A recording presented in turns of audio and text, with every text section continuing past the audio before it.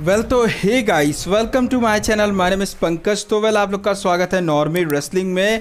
इस वीडियो के अंदर डिस्कस करने वाले हैं डब्ल्यू के हील टर्न को लेकर एंड ऑल्सो ब्रॉक लेसनर के रिटर्न से रिलेटेड भी एक काफ़ी बड़ी अपडेट है. इस बारे में भी बात करेंगे और एनएक्सटी के अंदर देखने को मिल चुका है काफ़ी बड़ा इंजरी जो कि हमें एक बड़े सुपरस्टार का तो इस बारे में भी बात करेंगे। एंड और भी अच्छी खासी अपडेट होने वाली है इंडिया के इवेंट से रिलेटेड भी। तो इसीलिए वीडियो को लास्ट तक ज़रूर देखना और जिसने चैनल को सब्सक्राइब नहीं किया तो भाई सब्सक्राइब कर लो। लेटेस्ट अपडेट्स और ऐसी इंटरेस्टिंग वीडियोज़ के लिए। ओके सो चलते फिर टॉपिक पे आते हैं। एंड टॉपिक की शुरुआत करते हैं फ़र्स्ट ऑफ़ ऑल सो ये है बैकिल लिंच को लेकर। तो जैसा कि हम सभी लोग जानते हैं कि बैकिल लिंच और टिफनी स्टैटन की जो फ्यूड है, वो हमें बहुत ही मतलब एक तरीके से कहे तो एनएक्सटी के शो से शुरुआत होते हुए दिखाई देती है। फिर इसके बाद पे बैक के अंदर भी छोटा बहुत अपीरियंस देखने को मिलता है टिफनी का। बैकिलिन से कन्फ्रंटेशन देखने को मिलता है।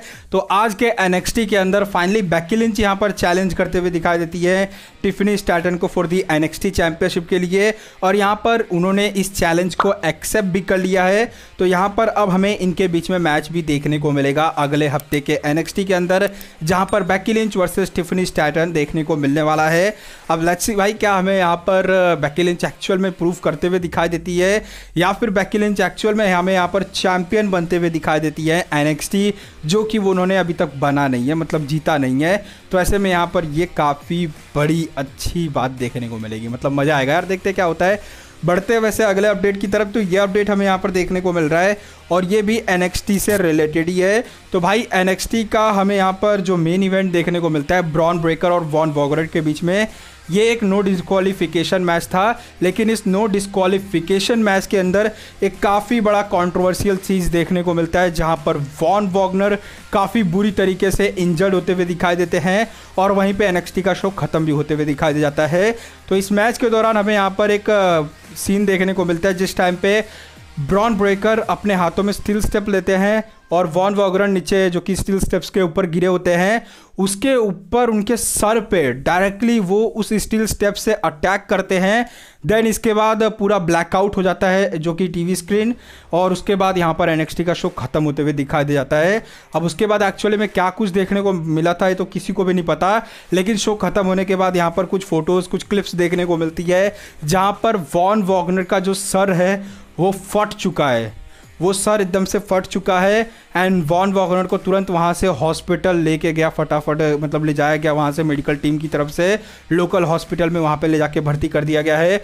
अब भाई ब्राउन ब्रेकर का ये इंटेंशनली देखने को मिला, ये स्टोरी लाइन का पार्ट था। इसको लेकर कुछ क्लियर नहीं है, लेकिन बताया जा रहा है कि यहाँ पर ये इंटेंशनली एक तरीके से ब्राउन ब्रेकर की तरफ़ से अटैक देखने को मिला वॉन वॉगनर के ऊपर। वेल well, भाई ये काफ़ी खतरनाक चीज़ है एक तरीके से देखे तो क्योंकि भाई रियली में उन्होंने एक बंदे को इंजर्ड कर दिया हर्ट ही कर दिया पूरा एक तरीके से सर फोड़ दिया। तो ये कुछ हमें यहाँ पर देखने को मिल रहा है। होप करते हैं कि वॉन वॉगनर ठीक हो। और इनको लेकर कोई मेडिकल अपडेट आती है तो मैं ज़रूर आप लोग को इन्फॉर्म कर दूँगा।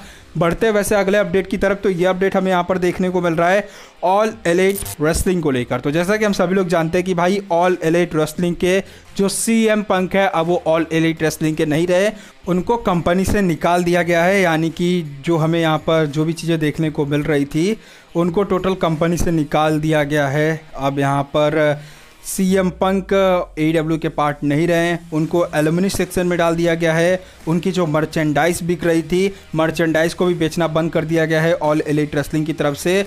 ऑफिशियली बात करें तो सी एम पंक को हर जगह से ऑल एलिट रेसलिंग में से निकाल दिया गया है। ये कुछ यहाँ पर ए से लेकर मतलब सी एम पंक को लेकर अपडेट देखने को मिल रहा है। इसके ऊपर भी आपके थॉट्स बता देना। एंड बात कर लेते हैं अगले अपडेट की तो ये है हील टर्न को लेकर।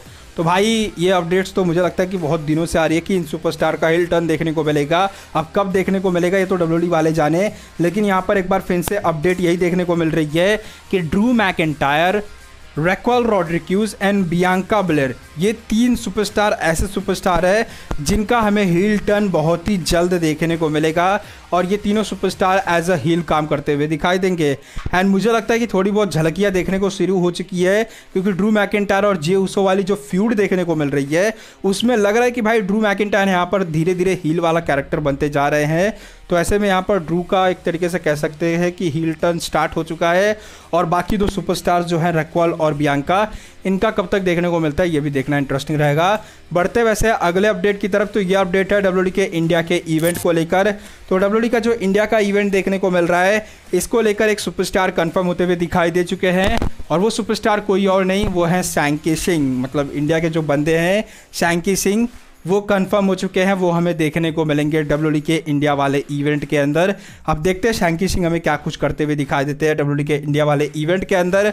एंड ऑल्सो अपडेट यहाँ पर यह भी देखने को मिली है कि जो मैच हमें देखने को मिलने वाला है Sami Zayn and Kevin Owens versus Indus Sher का।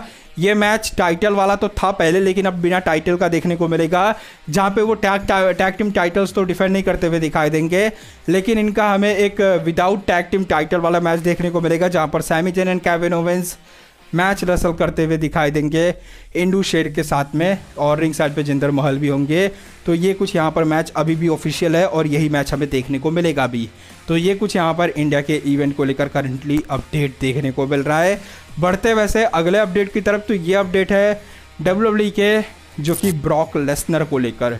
तो जैसा कि हम सभी लोग जानते हैं कि भाई ब्रॉक लेसनर फ़िलहाल के टाइम पे जो उनकी इंजरी वाली सिचुएशन है, जिसकी वजह से वो हमें डब्ल्यू से बाहर देखने को मिल रहे हैं, नहीं तो उनका फास्ट लेन के अंदर मैच हमें ज़रूर देखने को मिलता।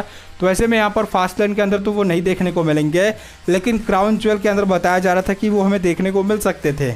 लेकिन यहाँ को भी लेकर कुछ कंफर्म नहीं है यानी कि ब्रॉक लेसनर देखने को मिलेंगे या फिर नहीं देखने को मिलेंगे, इसको लेकर कुछ कंफर्मेशन फ़िलहाल के टाइम पे नहीं है, लेकिन बताया ऐसा जा रहा है कि हो सकता है ब्रॉक लेसनर हमें वहाँ पर देखने को मिले। बट अपडेट यहाँ पर यह भी है कि ब्रॉक लेसनर को इंटरनली शेड्यूल तो किया गया है डब्ल्यू का क्राउन ज्वेल के लिए।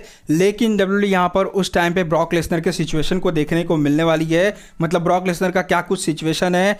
उस सिचुएशन के हिसाब से वहाँ पर शो में ब्रॉक लेसनर को रखा जाएगा। अगर सिचुएशन सही नहीं होगी तो वहाँ पर ब्रॉक लेसनर को क्राउन ज्वेल इवेंट के अंदर भी नहीं रखा जाएगा। दैट मीन्स कि एक तरीके से कहे तो बैड न्यूज़ भी है और गुड न्यूज़ भी है। मतलब बैड न्यूज़ इसलिए है कि हो सकता है शायद हमें ब्रॉक लेसनर ना देखने को मिले। गुड न्यूज़ ये भी है कि चांसेस ये भी हैं कि ब्रॉक लेसनर देखने को मिल भी सकते हैं। अब देखते वैसे क्या होता है। उस टाइम के सिचुएशन के ब्रॉक लेसनर के ऊपर डिपेंड करेगा। तो आप लोग का क्या थॉट्स है? इन सारी अपडेट्स को लेकर कमेंट में बता देना। वीडियो अगर सही लगी तो यार लाइक करो शेयर करो सब्सक्राइब करो, जो भी करना कर सकते हो। मिलता है अगली वीडियो में। तब तक के लिए बाय बाय एवरीवन गाइस